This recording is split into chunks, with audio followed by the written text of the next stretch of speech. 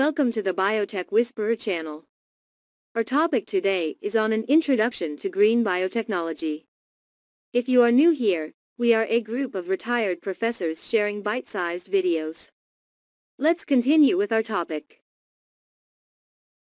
Climate change refers to long-term shifts in temperatures and weather patterns that have come to define Earth's local, regional, and global climates. Scientists use observations from the ground, air, and space, along with modeling simulations to monitor and study past, present, and future climate change. Climate data records provide evidence of climate change key indicators, such as global land and ocean temperature increases, rising sea levels, ice loss at Earth's poles and in mountain glaciers, frequency and severity changes in extreme weather such as hurricanes, heat waves, wildfires, droughts, floods, and precipitation, and cloud and vegetation cover changes. Climate change may bring about lower crop yields, increased soil salinity, with higher temperatures, and uneven distribution of water resources triggering more droughts and more floods. Taken together, this affects our food security.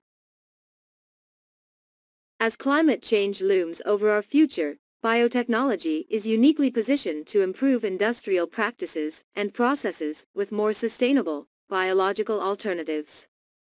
Biotechnology is already making some impact in the way sustainability is enhanced in supporting the circular bioeconomy.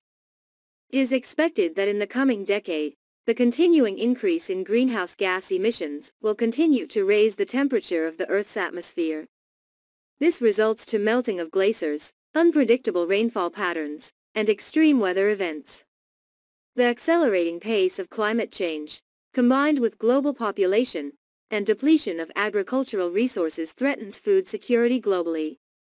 We shall in this video review areas where biotechnology is making an impact and what is in the works ahead.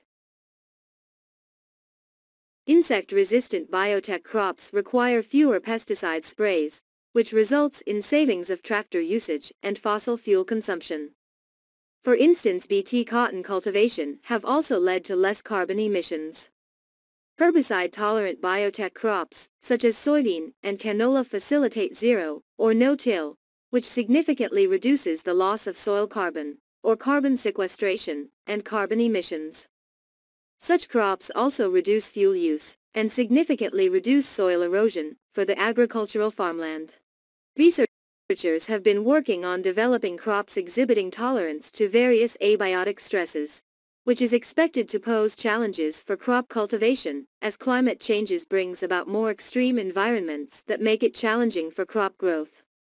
Crops can be modified faster through biotechnology than conventional crops, thus hastening implementation of strategies to meet rapid and severe climatic changes. Conditions such as cold, drought, salinity, Heat requires tolerant biotech crops to be developed and improved using biotechnology. Ongoing biotech research to mitigate global warming are bringing about new strategies to sustain the utilization of crop improvement. For instance, the induction of nodular structures on the roots of non-leguminous cereal crops to fix nitrogen will reduce farmers' reliance on inorganic fertilizers. Another example is the utilization of excess carbon dioxide in the air by staple crop rice, by converting its carbon dioxide harnessing capability from C3 to C4 pathway.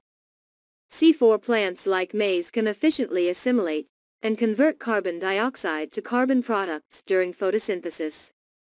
By using genetic and molecular approaches, a number of relevant genes have been identified and new information continually emerges, and successful deployment in field trials raises hopes for mankind to improve crop yield to feed its ever-increasing population.